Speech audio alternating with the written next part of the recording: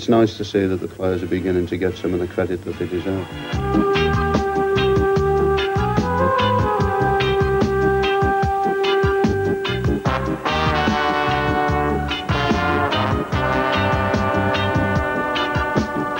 The dole queues on Merseyside stretch further than most. And as these queues get longer this winter, then so the queues to get into the local football grounds are certain to get smaller. Attendances here were down by an average of 2,000 a game last season. They need 42,000 people just to balance the books.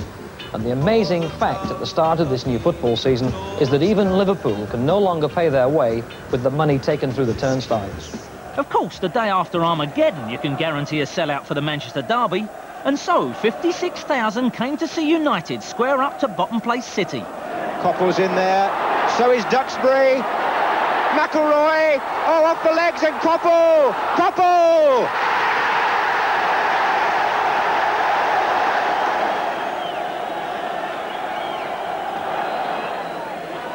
Oh, right across and in the back of the net. And Kevin Reeves came in there. And the defence was stranded as Reeves scored.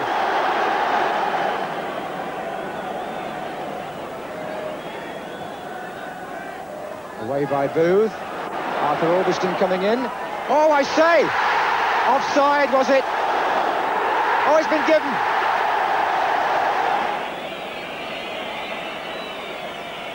Power. Caton climbing. His Palmer with a great chance. It's there! Palmer has equalised for City! The City Bold reflect this creditable draw by asking Malcolm Allison to go.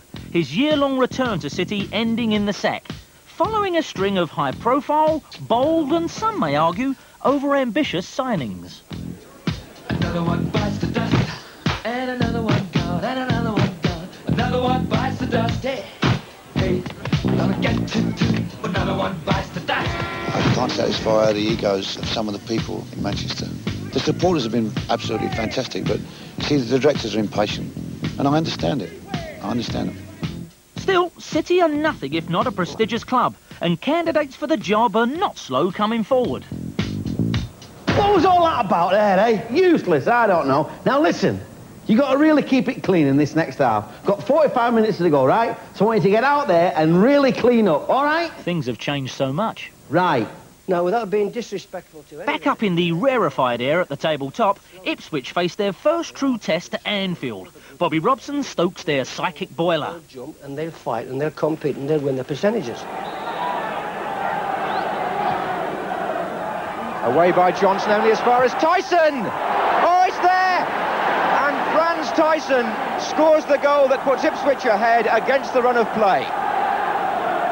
Souness. Cohen.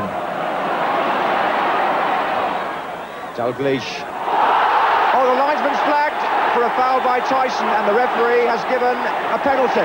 Now, Thijssen, the man who scored the goal, has been penalised, and a penalty has been given to Liverpool for the tackle on Dalglish. Ipswich surround the referee. It looked innocuous to them. The linesman actually, in my view, made the difference there. He flagged.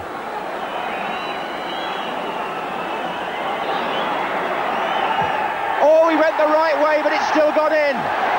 McDermott equalises for Liverpool with his 11th goal of the season for them. And Thijssen is still arguing about the original decision.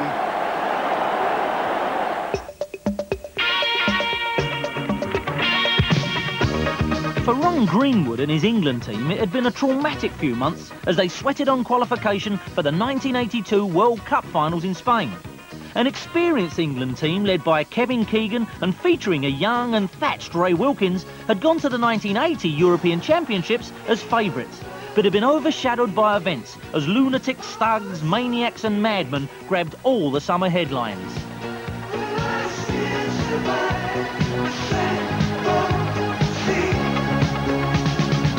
I'm sure the players are ashamed. It's a disgraceful exhibition, and I'm certainly not proud to be British sitting there here at the moment. It wasn't a good day for Britain. In fact, it was a bad day for Britain. And we really are a splendid country. On the pitch, England bounced back in their World Cup qualifying group with a victory over Norway. Yeah, we have beaten Norway, and it came thanks to goals from Terry McDermott, Then Nottingham Forest favourite Tony Woodcock, now playing in Germany for Cologne. And a glorious, mad and brilliant goal from Ipswich striker Paul Mariner.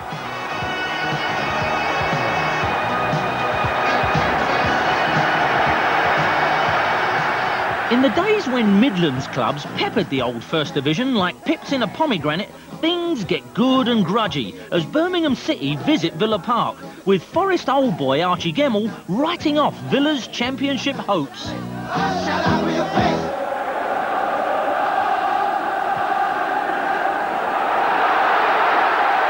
Shaw and Hawker get his this is, and he's ready count!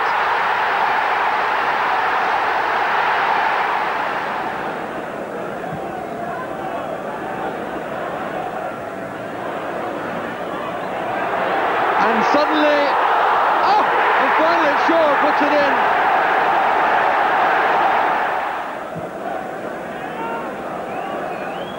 On by Evans, and he got it in, yes, got it. Across town, big Ron Atkinson, he was always big, and his West Brom team are also going well. Inspired from midfield by Brian Robson, robust, injury-free and unstoppable. Robson, forward for Regis, back to Moses, and the goalkeeper loses it, and a penalty is given, I think, for handball. Gives Gary Owen a chance from the penalty spot. Comes in the 35th minute of the match. And Bailey going the wrong way. 1-0 to West Bromwich Albion. Chance for a break with Regis. Barnes to the right. And somehow he managed to adjust his feet. But he didn't really make up his mind, I don't think. And Barnes has got through this time. And it's in!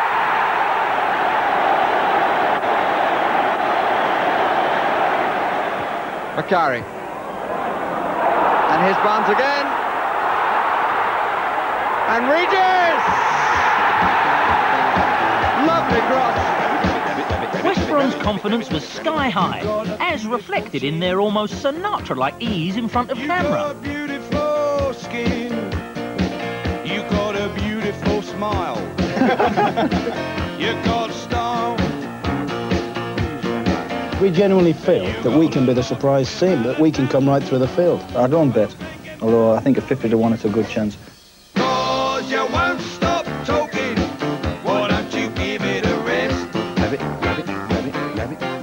Despite West Brom's charge up to fifth position, the Christmas League table shows a three-horse race for the title, with Liverpool, Villa and Ipswich opening a gap at the top.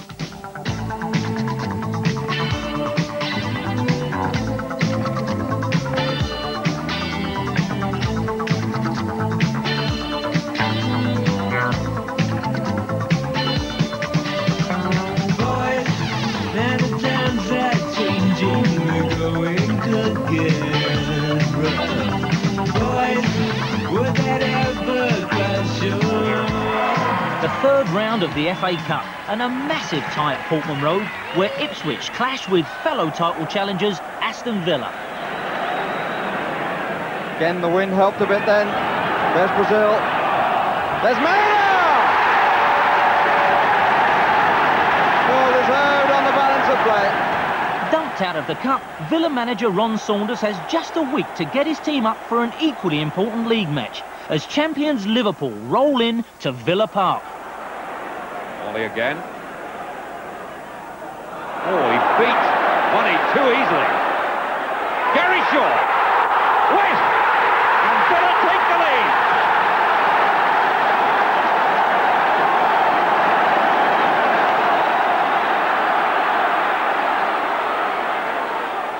Leaving it to Shaw. On through to Mortimer, who's onside. Could this be number two? Yes!